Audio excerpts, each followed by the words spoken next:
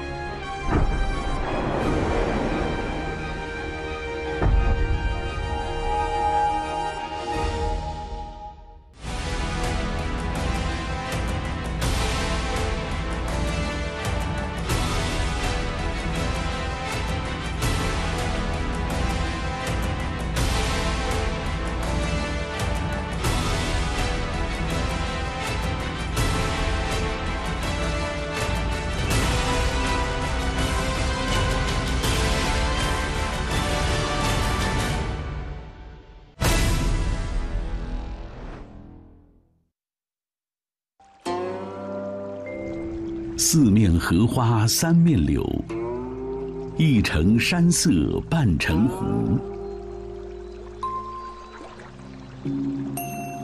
这里是山东省济南市，许多生活在这里的人很难想到，这座现代化的都市之下，掩藏了一个失落千年的古国。一九九五年。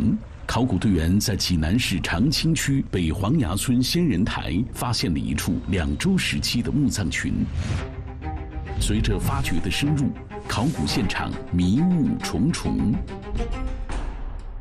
两件原本应该葬在不同地区的青铜重器，为何会在同一座墓地中出现？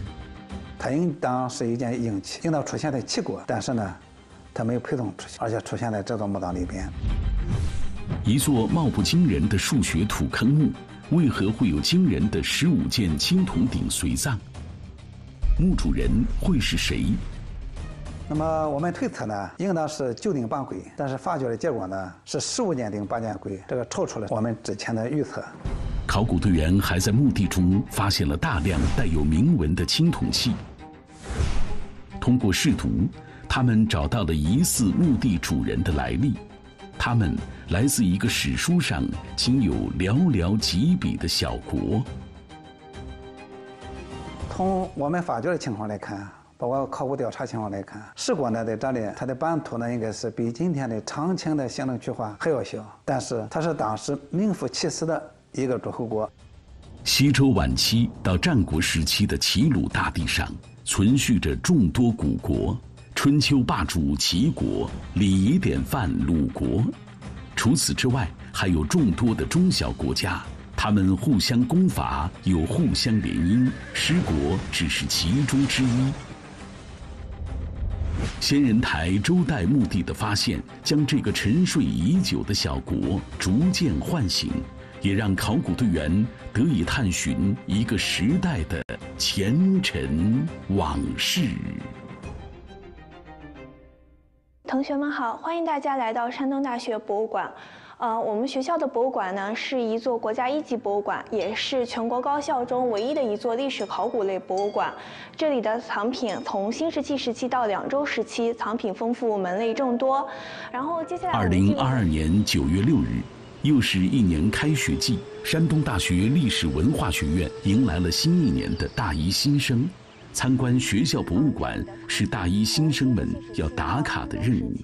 嗯，我们现在进入的是文物展厅。这个文物展厅的主题叫做“失国寻踪”，讲述的是两周时期早期失国的历史。我们眼前展柜中看到的这件文物呢，是我们的一件镇馆之宝，也是国家一级保护文物。我们私下里称其为“龙盘凤舞青铜方壶”。正如大家所看到的这件，这件青铜方壶。全身布满华丽的纹饰，盖顶有两条盘绕的浅浮雕龙纹，颈腹之间有一条宽带纹，腹部为盘龙纹，四面各有一龙头，其中前腹与后腹的龙头为高浮雕，两侧为浅浮雕。纹饰错落有致，龙身盘绕全曲。龙，春分登天，秋分潜渊。两千多年前的匠人怀着敬畏之心铸造了这件青铜重器。它出土自济南市长清区的仙人台周代墓地。它的主人是谁？又来自哪里？这件青铜方壶背后还隐藏着怎样不为人知的历史？任香红，山东大学历史文化学院教授，他是破解这一连串疑问的关键人物。当年正是他带队发掘了仙人台周代墓地，从中清理出大批珍贵文物。回想起二十多年前那场发掘。任香红至今记忆犹新。一九九五年，我三十九岁，那是我第一次认领队，带学生进行田野考古实习，和学校老师方辉、推大勇带上的考古系九二级同学发掘长青仙人台遗址。如今回想起来，那次发掘简直超乎我们的想象。长青仙人台周代墓地的发掘工作源于一次考古实习。一九九四年，考古专业已经是山东大学的金字招牌之一，却因为经费有限，在很长一段时间里一直没有用于教学研究的青铜器。我们发掘仙人台呢，那么当时呢，我们是这样考虑的。那么首先呢是完成教学计划，因为我们是学校嘛，那么以教书啊育人为天职，最重要的就是完成教学计划，那么提高教学质量。那么还有一个问题呢，还有一个目标就是想挖一点青铜器，作为我们教学标本。因为我们专业呢，我们考古专业，因为成立的时间比较短，那么教学标本比较频繁，特别是青铜器。青铜器。作为商周贵族随葬的重要器物，在当时山东地区的田野发掘中并不常见，所以如何找到青铜器、选择合适的实习地点，就成了任香红面临的首要问题。他查阅了山东地区历年的考古报告、文物信息，希望可以找到一个理想的实习地点。完成教学计划呢，应该比较容易些。那么，但是呢，我们设计的目标，发掘青铜器的话，这个是比较难的，因为青铜器呢，它毕竟是在当时呢社会地位比较高的，只有贵族才能够使用，这个是比较难的。那么，为了达到这个目标，完成这个任务，我们呢就开始分析了。当时我分析呢，就是山东，就是在我们力所能及的实习的范围之内。大概哪些地区、哪些区域可以达到这样目标？就是出青铜器啊比较多的地方。济南市长清区境内，山脉连绵，四塞之固，祖山带河，位置冲要，自古即为兵家必争之地。修建于春秋战国时期的军事防御工程齐长城。其西端就始于长清附近，在群山中蜿蜒七十余千米，至今脉络清晰。战国时的齐境之战也发生在长清境内，所以任香红判断，长清地区出现青铜器的可能性更高。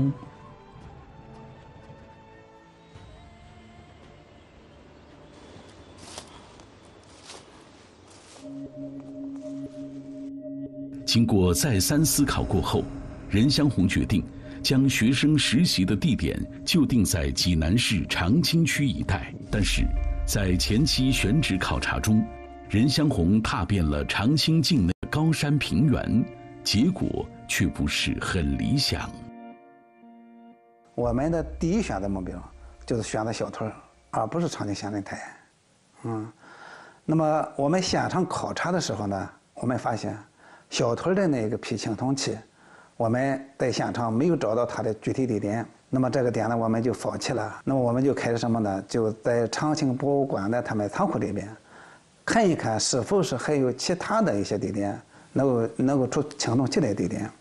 于是呢，我们发现了什么呢？长青仙人台，那么两件青铜柜。一九九四年十月。已经进行了几十天考察选址的任香红，到达长清区博物馆仓库进行参观。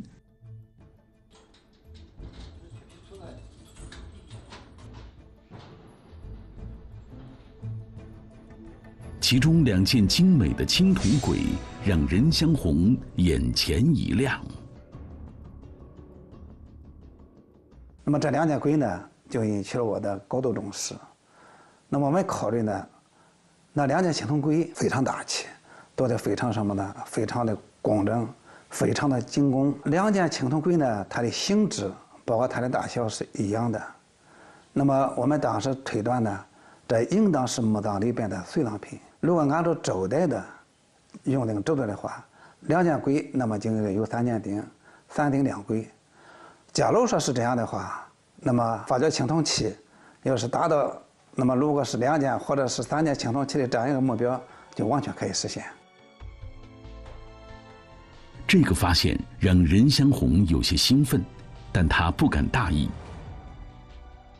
通过查阅原始记录，任香红得知，这两件青铜簋出自长青地区北黄崖村的仙人台遗址。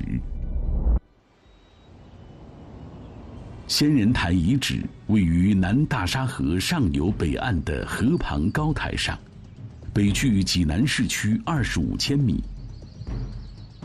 一九五八年，由于要修建钓鱼台水库，原来居住在黄崖村的居民搬迁为三个村落，北黄崖村便是其中之一。所谓的仙人台，就像是一块隆起的黄土平台。自东向西探入水中，但是在当年水库修建期间，仍没有人发现仙人台的玄机。直到一九七五年，这个掩于黄土下的古遗迹才初露端倪。七五年秋天，我带领着这个村里社员来收高粱来。收高粱的时候呢，我走了个近路，到快这个仙人台顶的时候，发现了一个发绿的东西。我长脸一挖呢。是个青铜器，我当时就交给了这个有关部门了。后来又发现了一些，我也接接着就上交了。为了获得第一手的信息，任香红匆忙赶往北黄崖村，找到了当年铜器的发现者张建长。就是从哪个从他了？哎，就是在那个地方。你看我弄着脸上上去以后，看着这个铜它不着着锈吗？我看着发绿，哎，我找你。随后，在张建长的陪同下，他又赶往仙人台进行实地考察，现场情况与村民的描述基本一致。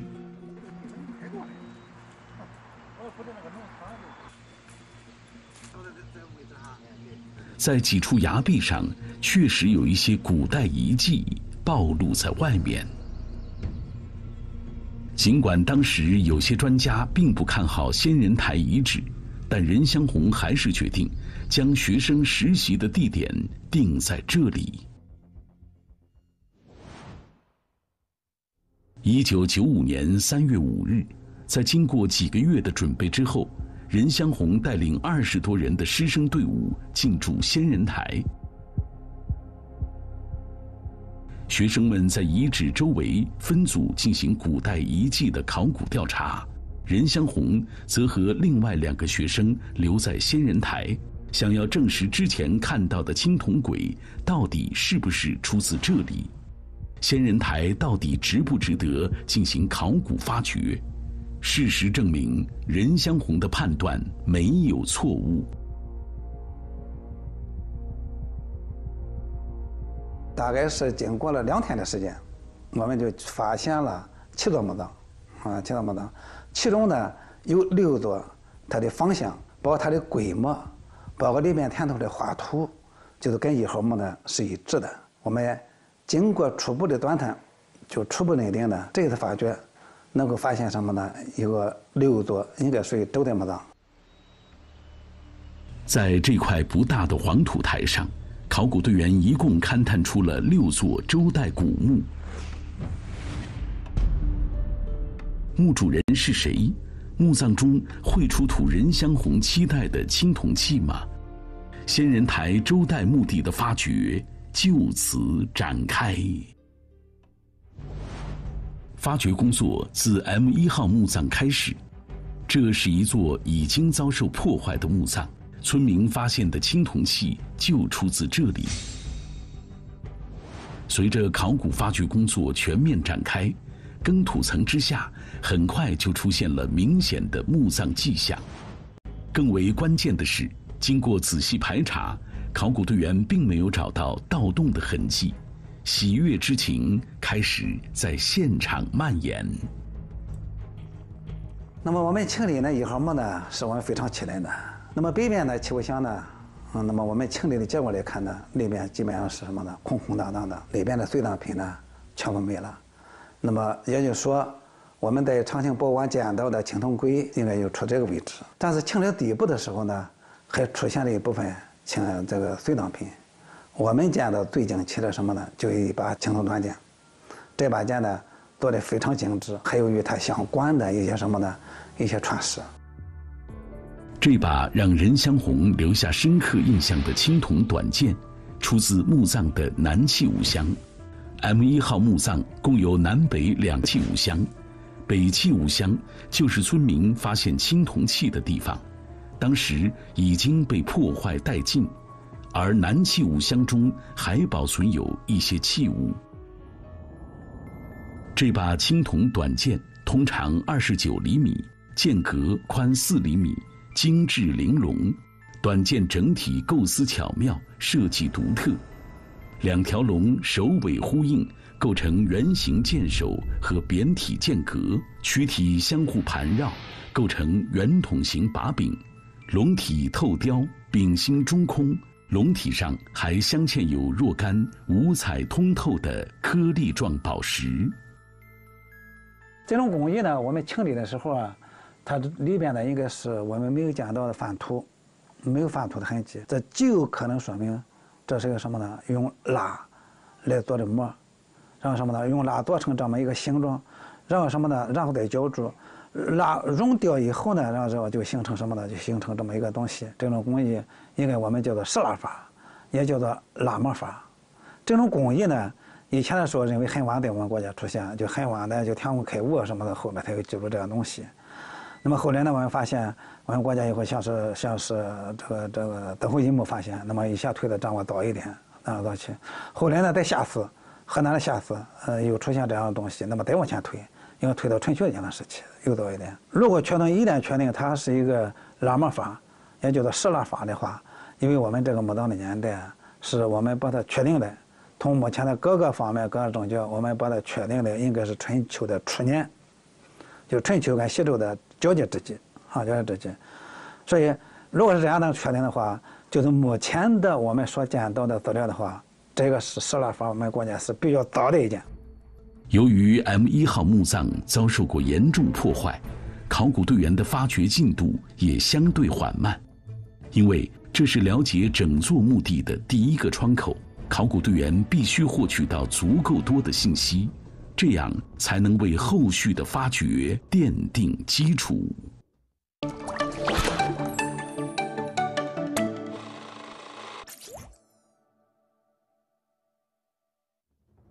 数日的辛苦过后，M 一号墓葬基本已经清理完毕，但遗憾的是，考古队员并没有在墓葬中找到类似鼎、簋的青铜礼器，所以他们推测。墓葬原本的北气武乡，应该就是存放随葬礼器的地方，而南气武乡则是存放兵器乐器的位置。尽管没有发掘到鼎、簋等青铜重器，但 M 一号墓葬的发掘，还是给领队任香红打了一针强心剂。这个一号墓的清理。给我们什么呢？给了很大的鼓舞。如果这座墓葬没有被盗，那么我们探出的，那么还有五座墓葬，周代墓葬，它的规模呢，有的是比这个墓葬还要大，有的呢比这规模可能略小一点，但是平均起来看的话，这些规模都差不多。当时我们做了一个推断，平均，啊，那么每一座墓葬，那么五座墓葬嘛，是不是？那么如果出了七件或者六件，再保守一点，那么怎么得三十多件青铜器，就三十件左右吧。三十多件青铜器，这个数量已经大大超出了考古队员的预期。领队任香红难以抑制心中的激动，因为当时考古驻地北黄崖村内没有电话，即便当天发掘结束，已经到了晚上，任香红还是跑到钓鱼台水库的值班室，用座机给学院老师分享了这个喜讯。当时的发掘工作才刚刚开始，任香红不知道的是，仙人台周代墓地中还有更大的惊喜，更多的疑问在等待着他。这个这个不像是一般写的，嗯，有啊，就这儿有啊。按捺下心中的激动，领队任香红决定继续发掘 M 二号墓葬。这是一座长方形数学土坑墓，它与 M 一号墓葬平行分布，两座墓葬之间的距离只有一点五米。两个墓主人之间有着什么样的联系？M 二号墓葬又会给考古队员带来怎样的信息？皮子呢？皮子呢？此时的考古队员来不及仔细思考。因为随着发掘的深入，他们期待已久的青铜器终于出现了。因为我们呢，在发掘时期呢，那么给同同学上课的时候，就是说，我们除去教学任务之外呢，我们就是想做一点青铜器，所以我们都把这个作为一个重要的目标啊。所以看了青铜器呢，大家就开始兴奋，后边非常期待。所以二号墓清理呢，我们还清理非常谨慎。那么清理啊，应该说是还是非常这个让人兴奋的。清理的结果呢是什么呢？两件青铜鼎，还有一件什么呢？还有两件青铜符。M 二号墓葬中共出土四件青铜礼器，基本符合考古队员此前的预期。这是他们第一次亲手触摸到还略带有泥土芬芳的青铜器。晚上回到驻地以后，考古队员迫不及待地开始清理这些他们期待已久的器物。这件青铜鼎出自墓葬的西南角，腹部微微外鼓，器身上装饰有当时流行的切曲纹、垂鳞纹等纹饰，外表有明显的使用痕迹。鼎内还有相对完整的骨架。但是呢，我们在清理青铜鼎的时候，发现青铜鼎里边呢还保存了一些什么呢？还保存一些有的是动物骨头，其中有一件鼎呢，应该随葬的是鱼，包括那个鱼骨还保存非常好，非常完整。也就是说，其中一件鼎呢，应该是放着什么呢？完整的鱼，只有完整的鱼。它在腐朽以后呢，才能保存完整的什么呢？这样的鱼骨。那么在符里边呢，青铜符里边，我们打开青铜符一看呢，里边还保存着饰品，啊，保存饰品，看上去就像特别像今天的，就是我们那种一种传统的饰品，像发糕一样，啊，那么还是保存还是非常不错的。这四件青铜器，啊，两件青铜鼎，两件青铜符，用来它的制作，不还是非常精工精工的，所以呢。这座墓葬呢，还是青铜器给我们什么呢？还是带来很大希望。首先证明什么呢？应该是没有被盗。那么我们一开始判断是正确的。那么后边的青铜器发这个墓葬的发掘，那么应该出现青铜鼎的青铜器的可能性应该是更大。考古队员在 M 二号墓葬中共发现两件青铜鼎，证明墓主人很可能是一位贵族。这让他们对接下来的发掘充满希望。青铜鼎的发现已经让考古队员惊喜万分，但是当他们将鼎内的鱼骨清理完毕后，更大的惊喜出现了。鼎内器壁上居然隐约显露出文字的痕迹。那么我们稍微的清理以后啊，看了一下什么呢？是有铭文的出现，因为这个是我们非常惊喜的。我们知道青铜器铭文是太珍贵了，因为这是什么呢？这是出土文献。如果有文字的话，这就是当时的记录，对于破解我们这个墓葬的年代，包括它的墓主人等等等等的一些问题，这最关键的问题。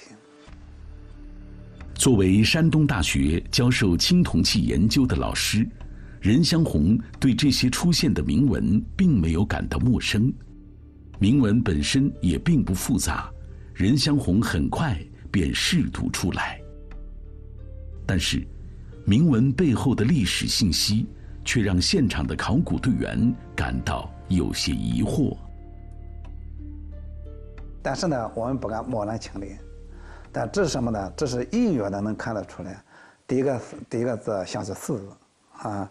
那么一个一个寺庙的寺，一个耳朵，耳朵嘛就是一嘛，古代是一个一的一个意思嘛。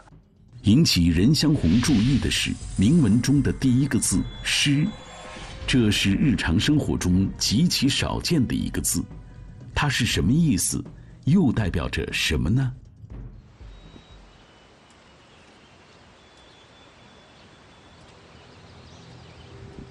在距离仙人台遗址十千米外的长清区石都庄村，村民在取土时曾先后发现多件带有“狮”字铭文的青铜器。这些青铜器上的铭文，除了个别字的写法不一样，内容几乎与仙人台遗址出土青铜鼎上的铭文相同。经过多方查询，考古队员判断，这应该是东周时期一个诸侯国的名字。那么前面这个“四”呢是什么意思呢？那么我们可以什么呢？理解成可能是一个人名，啊，就是我们通常所说的这个器物的器主、做器者，啊，那么也可能是个什么呢？也可能是一个一个国家一个国名的问题，啊，如果后边是带爵位，那么可能是一个国名。如果没有爵位的话，那就人民的可能性比较大。但是不管怎么讲，这是一个重要的信息。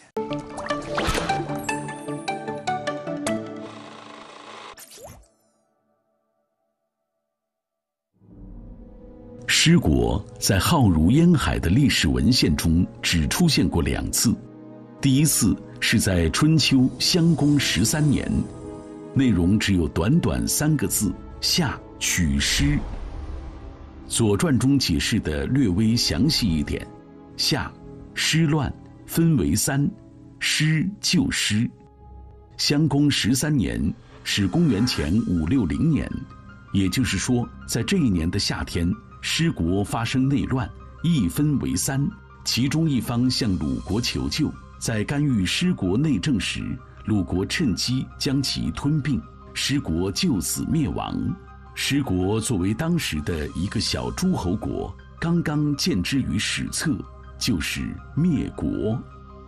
让考古队员感到奇怪的是，在《春秋左传词典》中记载，师国名任姓，在今山东济宁市南五十里，也就是说，师国的地理位置应该是位于鲁南地区。那么，这件师国的青铜重器。为何会出现在鲁北的仙人台遗址？那么下面呢？音乐还出现什么呢？音乐字看得很，其他呢也不得很清楚。那么有些字呢看得比较清楚点，像是“影”子，“影”子就是演影器了，就是陪嫁女儿的。硬器是两周时期出现的一种非常特殊的青铜器，当时诸侯国林立。为了加强彼此的关系，联姻就成为外交的重要形式。为表达这种联姻的庄重与神圣，在举行婚礼时要铸造青铜器作为陪嫁品。通常情况下，硬器都会被带往夫国，在出嫁者去世时随葬入墓。难道仙人台遗址是一处其他诸侯国的贵族墓地？所以当年失国用来陪嫁的青铜器才会出现在这里？在没有更多证据出现之前，考古队员也不敢妄下结论，他们只能继续发掘工作。尽管 M 二号墓葬中还有种种未解之谜，但是青铜器的出现让整个考古队为之兴奋起来。不过，此时的领队任香红却感到一丝忧虑。我们为了发掘的顺利，为了文物的安全，所以在我们探、我们清理完一号墓之后，我们就开始准备什么呢？准备一些安全措施，比如说是买一点什么的保险柜啊、铁皮橱子之类的。那么当时我们。就是按照三十件左右青铜器的这么一个数量来进行购置的这样的一些设备。在一切准备妥当后，考古队员开始继续发掘 M 三号墓葬。M 三号墓距离遗址北边悬崖仅二十厘米，墓口距离地表也不过三十厘米。在这种埋藏环境下，墓葬内部很有可能已经遭受破坏。那么，M 三号墓内还能出土青铜器吗？小心翼翼清理后，墓葬初步显露出来。这同样是一座长方形数学土坑墓，墓葬底部葬具为一棺一椁。当腰坑器物箱逐渐显露出来时，考古队员发现它们依旧保存完整，随葬品没有被破坏。考古队员暂时放下心来，继续清理。M 三号墓葬中也出土了四件青铜器，其中两件青铜鼎的出现，证明墓主人曾经是一位钟鸣鼎食的贵族。从随葬器物来看，考古队员推测墓主人也是一名女性。那么，她又会是谁呢？在剩余的两件青铜器中，考古队员找到了有关墓主人身份的关键信息——铭文。但是，铭文的内容却彻底颠覆了考古队员此前的种种猜测。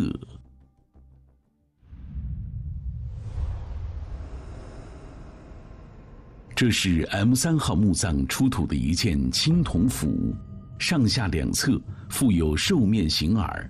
器身周围以象纹装饰，在器物的顶部与底部刻有二十三字铭文：“师照作，为其吕府，用时吕梁，用引朱母朱兄氏，永保母幼江。”考古队员取铭文前两个字，将这件青铜器命名为“师照斧”。铭文中再一次出现了“狮”字，但是这件狮罩斧与 M 二号墓葬出土的硬器有着截然不同的作用。因为这个是比较清楚的，比二号墓当然清楚多了，是不是？那么应该是它的布局包括结构，应该二十三个字没问题的。那么这个字呢，应该什么呢？应该不是很难理解。应该四招四，现在我们开始考虑什么呢？四招。肯定是这个墓主人，啊，也是器物的作起者。是找作为七律符，就是为自己做了一个什么呢？做了一个一件器物，然后祝福他主母主兄等等等等，怎么回事？最关键、最关键的前面这几句话，非常清晰的，啊，比较明确的告诉我们，四周就是这个器物的做起者给自己呢做了这么一件器物，同时呢，应该什么呢？这个墓主人，那么极有可能。啊，就是什么呢？应该就是四周。失国青铜器的再次出现，让考古队员有了一个大胆的猜测：难道这里是一处失国的贵族墓地？但是，这显然与文献中的记载不相符。而且，M 二号墓葬中出现的硬器又该如何解释？任香红翻遍史书，也没有找到用于陪嫁的硬器，最后却没有葬于夫国的先例。此时的考古队员感到一筹莫展，他们不知道的是，七年后，同样是山东地区的一次考古发掘，给这个疑问提供了一个绝佳的解答契机。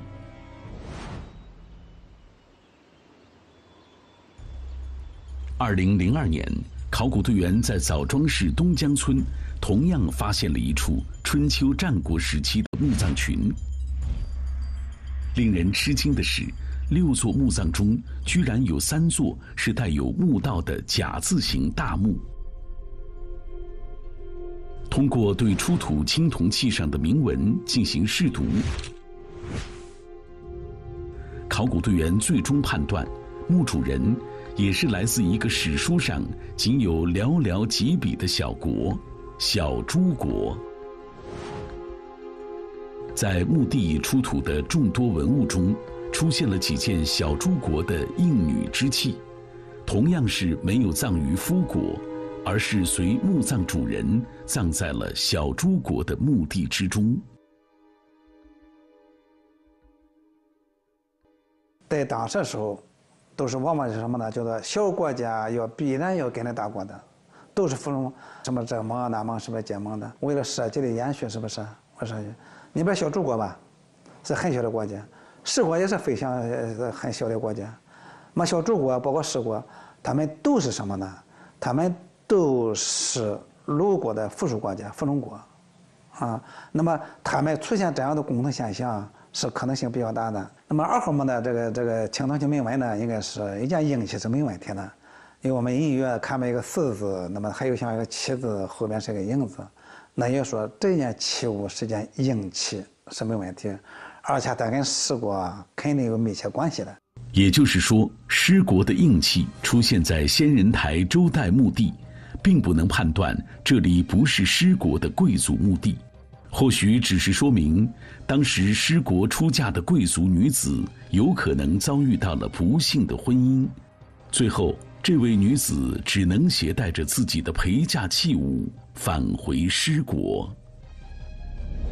发掘至此，仙人台周代墓地中只剩下面积最小的 M 四号墓葬，位置最偏远的 M 五号墓葬以及面积最大的 M 六号墓葬尚未发掘。为了加快进度，考古队员决定同时进行发掘。仙人台周代墓地这次考古实习已经过去一个多月，领队任香红最初的目标已经完成，他们不仅发掘到鼎、釜等大型青铜器，甚至还在青铜器上发现了文字。然而，随着发掘的深入，这些青铜器和铭文不断出现。却给考古队员带来了越来越多的谜团。这片墓地的主人究竟是谁？考古队员希望在随后的发掘中可以找到答案。